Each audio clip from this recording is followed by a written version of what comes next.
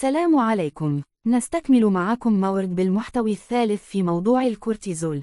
وعند الحديث عن ارتفاع مستويات الكورتيزول بسبب الإصابة بحالة مزمنة من التوتر قد يتجاوز التأثير الفسيولوجي العادي وربما يتسبب في مشكلات مثل ارتفاع ضغط الدم وضعف استجابة الجهاز المناعي فضلا عن مشكلات في التمثيل الغذائي بما فيها ارتفاع مستويات الجلوكوز في الدم.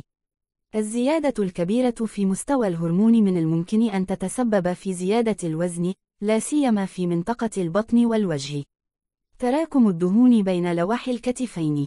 وجود علامات تمدد بنفسجية اللون على البطن. ضعف عضلات العضين والفخذين. ارتفاع سكر الدم الجلوكوز والذي أحيانا ما يتحول إلى النوع الثاني من مرض السكري.